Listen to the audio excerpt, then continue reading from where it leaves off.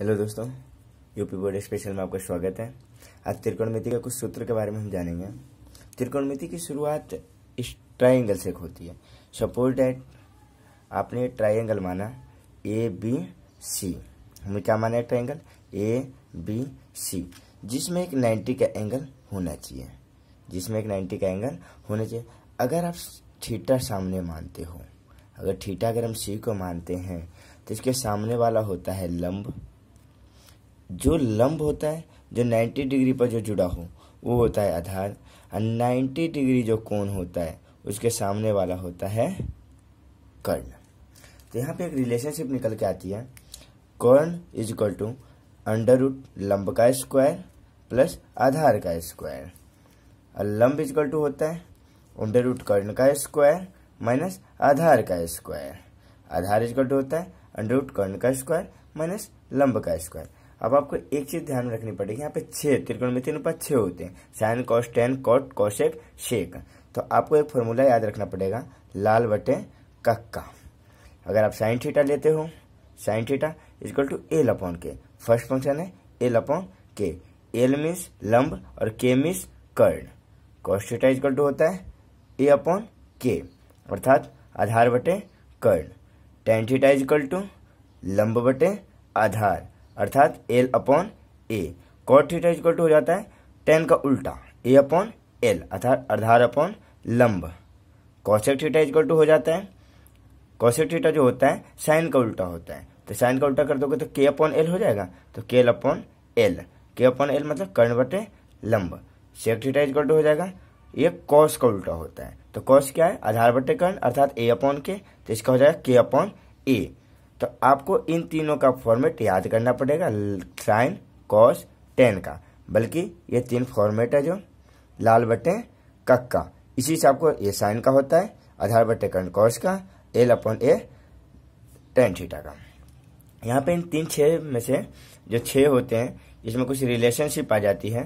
Sign theta is equal to होता है one upon cosec theta cosec theta is equal to होता है one upon sine theta sec theta is equal to होता है one upon cos theta cos theta is equal to होता है one upon sec theta tan theta का जो formula होता है साइन थीटा बटे कॉस थीटा और tan theta is equal to ये भी होता है वन अपॉन कॉट थीटा और cot theta is equal to होता है टेन का उल्टा हो जाता है मतलब कॉस बटे sine theta and cot theta is equal to होता है वन अपॉन टेन थीटा तो ये छह परिमित जो एक ट्राई एंगल पे जो रिलेटेड फॉर्मूले थे, ये ट्राई एंगल पे रिलेटेड फॉर्मूले थे. अब इसके बाद आता है त्रिकोणमिति के मान याद करना. मान क्या होता है? देखिए, मान में मैं एक ऐसा ट्रिक बताऊँगा, जिसे आप बड़े आराम से याद कर लेंगे।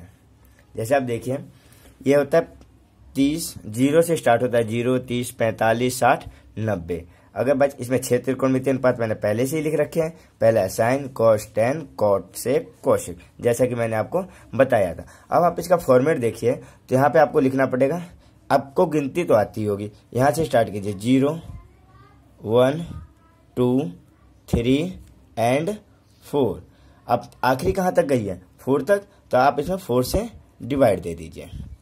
आपने फोर से इसमें डिवाइड दे दिया।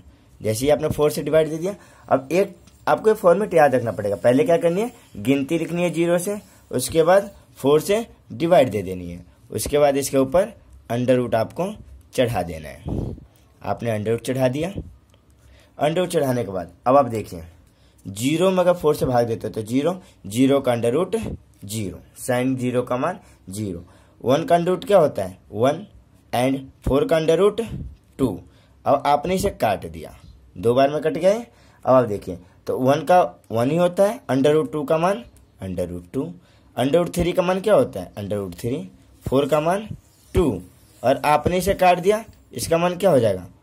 वन अब कॉस थीटा की बारी आती है। कॉस थीटा में इसके मान को उल्टा कर दीजिए। वन को यहाँ से लिखना स्टार्ट कीजिए। One under root three upon two one upon under root two under root one upon two and zero tan theta का फॉर्मूला जैसे कि मैंने पिछले पेज पे बताया था, जैसे कि आप पिछले पेज पे देख सकते हैं, पिछले पेज पे टेन थीटा का फॉर्मूला है साइन थीटा बटे कॉस थीटा तो आप यहाँ पे साइन थीटा बटे कॉस थीटा का मान रखेंगे तो साइन थीटा साइन थीटा बटे cos theta zero upon one zero. One upon two upon under root three upon two. तो टू से टू कट जाएगा, one upon under root three. ये पूरा ही कट जाएगा, वन। टू से टू कट गया, अंडर रूट थ्री। अब यहाँ पर आएगा वन अपॉन ज़ीरो। अर्थात वन अपॉन ज़ीरो का मान होता है जो इन्फिनेटिव होता है, अपरिभाषित है। इसका कोई मान ज्ञात नहीं है। कॉट थीटा के लिए आप क्या करोगे?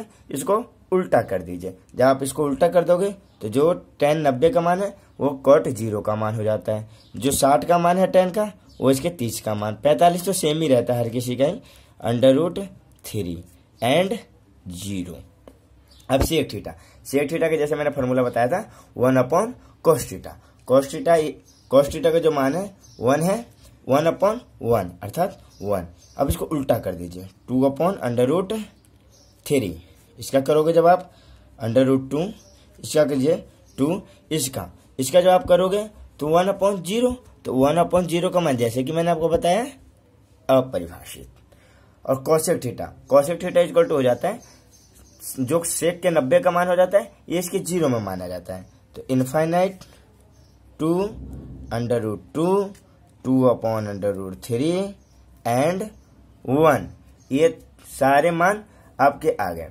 तो जो ये सारे मान आपके आ गए हैं देखिए ये सारे मान मैंने बता दिए, जैसे साइन ज़ीरो का मान हो गया ज़ीरो साइन तीस का मान वन अपॉइंट टू साइन पैंतालीस का मान one upon under two sine साठ का मान under three upon two and sine नब्बे का मान वन कॉस का देखिए कॉस ज़ीरो का मान वन अब इसको प्लट दीजिए. One under three upon two one upon under two one upon two and zero tan theta का फॉर्मूला होता है साइन थीटा बटे कॉस थीटा ज़ीरो बटे वन अर्थात zero one upon under three three upon under three two से two cut जाएगा one upon under three. ये पूरा कट जाएगा वन ये टू से, ये टू कट जाएगा तो one upon under three upon one ये वन अपॉन ज़ीरो अर्थात इन्फाइनाइट इसको प्लट दीजिए कॉट थीटा का मान हो जाता है।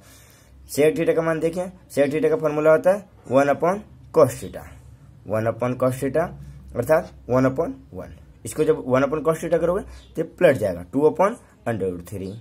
इसका under two two one upon zero one upon zero का मान इन्फाइनाइट कौशिक थीटा के लिए आप इसका मान उल्टा कर दीजिए। सेक का नब्बे का मान कौशिक के ज़ीरो का। बल्कि ये तो सारा फॉर्मेट था दोस्तों। तो ये मैंने आपको फ़र्स्ट बेस बताया है। सारे फॉर्मूले जो एक रिलेटेड ट्राइंगल पे थे और उसके मान थे। सारे त्रिकोणमिति अनुपात के। तो इस वीडियो में जो भी आपकी कन्फ्यूज़न होगी, आप कमेंट बॉक्स में लिखें और हमें बताएँ। हम आप उसको, हम आपको सोल्यूशन करके सारा हल देंगे। ओके दोस्तों thank you like and subscribe the my channels and my video okay have a good day